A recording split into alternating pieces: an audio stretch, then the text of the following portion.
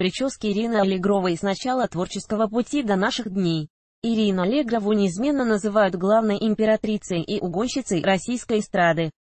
Прозвище, которое певица получила благодаря одноименным хитам, в определенной степени отражает ее яркий, смелый и несколько агрессивный сценический образ.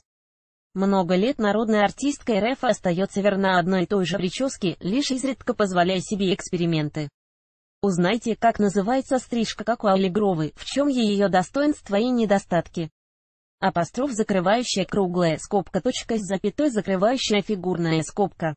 Детство и юность Ирине Александровне часто приписывают армянское или азербайджанское происхождение, аргументируя это тем, что настоящая фамилия ее отца была Саркисян.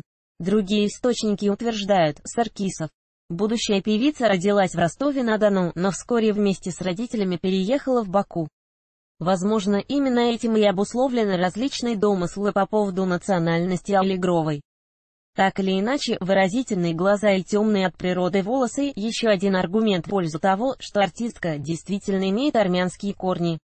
Не случайно в 2015 году популярная исполнительница получила медаль от Министерства культуры Армении. На архивных фото маленькой Ирины можно рассмотреть вьющуюся структуру ее густых волос. Волнистые локоны сохранились и в юности, когда Ирина сделала короткую стрижку с челкой. Варианты причесок трудовая биография Аллегровой ведет свой отчет с 1969 года. А первые песни артистка начала записывать спустя 7 лет. На протяжении творческого пути ее сценический образ менялся несколько раз. Естественный цвет Ирина не сразу стала блондинкой. В 1985 году она впервые выступила на песне «Года», еще в облике шатенки с корой пышной укладкой. Апостроф закрывающая круглая скобка точка с запятой закрывающая фигурная скобка. Дерзкая химия, в советское время химическую завивку не делали разве что самые ленивые. Молодая Аллегрова следил за модными тенденциями. В середине 1980-х, уже будучи участницей коллектива «Электросталь», она стала выступать в образ рок-звезды, химия, блонд, яркий макияж. Роскошные кудри с началом сольной карьеры, а это уже были 1990-е, Ирина Александровна постепенно подкорректировала имидж. Она по-прежнему блондинка с челкой, но вместо мелких кудряшек лица все чаще обрамляют крупные пышные локоны длиной чуть ниже плеч. Укладка стала более сдержанной, как того требовали лирические баллады, написанные Игорем Николаевым. Сюрприз для поклонников в 1998 году Ирина Аллегрова радикально изменила прическу. Вместо блонда – черные пряди, да и длина существенно уменьшилась, а челка высоко уложена над лбом. Знаменитый каскад в 2000-х певица, вероятно, нашла свой стиль. Вариации каскадных стрижек становятся ее верными спутниками на долгие годы. Челка обязательно. Периоды ностальгии временами Аллегрова возвращалась к образу из 80-х и выбирала завивку. Например, в 2005-м она появлялась на публике сразу в двух похожих образах, с кудрявой челкой и с мокрой укладкой. Двумя годами позднее химия вновь стала отличительной особенностью имиджа Ирины Аллегровой. В 2009-м кудрявая прическа с завитой челкой повторилась. Однако певица, вероятно, решила больше не ставить эксперименты над шевелюрой, поэтому предпочла парик. Кстати, многие поклонники знаменитости уверены, что их кумир частенько пользовалась накладными волосами, потому что в свое время испортила собственные химия плюс блонд. Впрочем, народная артистка от этих версий открещивается, утверждая, что ее локоны абсолютно натуральные. Смена длины иногда Ирина позволяет себе немного укоротить волосы, ну или подобрать другой парик, для тех, кого слова звезды не слишком убеждают. Так было в 2005 и в 2008. Завитые от лица волосы не очень характерны для имиджа исполнительницы, но неплохо освежают образ. В 2011-м объемная стрижка стала выглядеть более натурально. Отказ от кудряшек примерно с середины 2000-х артистка все чаще стала выбирать прямые пряди вместо объемных локонов и мелких кудрей. Неизменной осталась лишь любовь к блонду и челке. Фирменная стрижка знаменитости узнаваемый стиль последних лет пышная капна белокурых волос со стрижкой под названием «Каскот».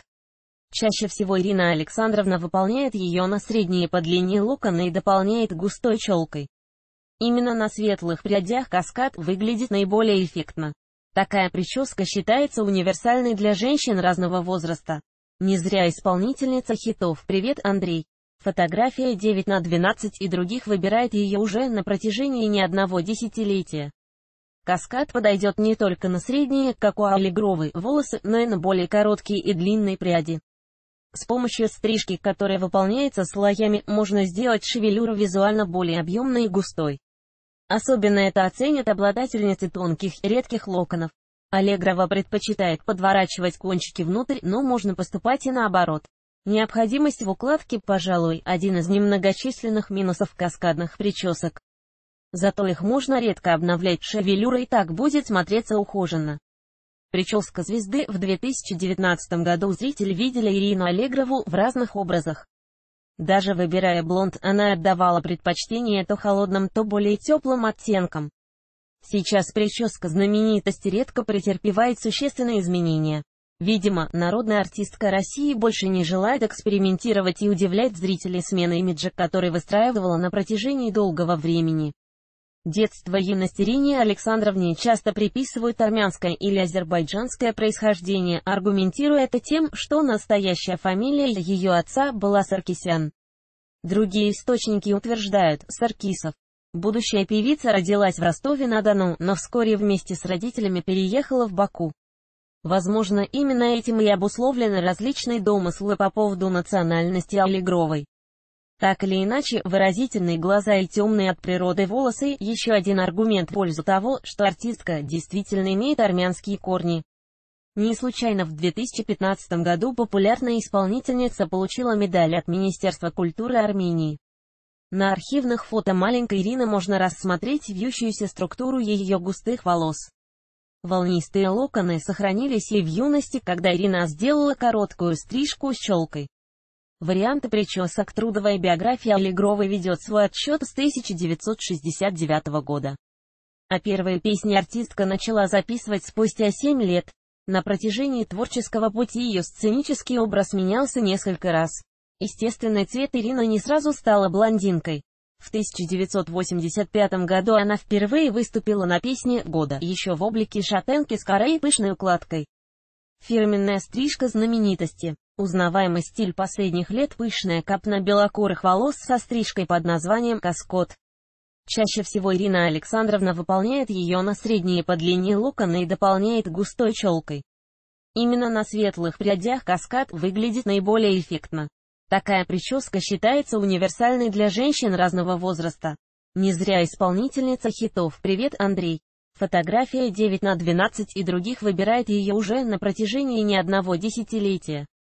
Каскад подойдет не только на средние, как у Аллегровой, волосы, но и на более короткие и длинные пряди. С помощью стрижки, которая выполняется слоями, можно сделать шевелюру визуально более объемной и густой. Особенно это оценят обладательницы тонких, редких локонов. Аллегрова предпочитает подворачивать кончики внутрь, но можно поступать и наоборот.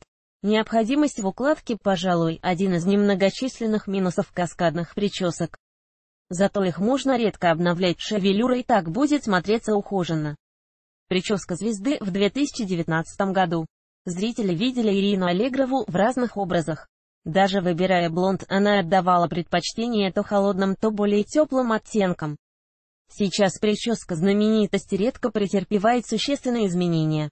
Видимо, народная артистка России больше не желает экспериментировать и удивлять зрителей сменой имиджа, который выстраивала на протяжении долгого времени.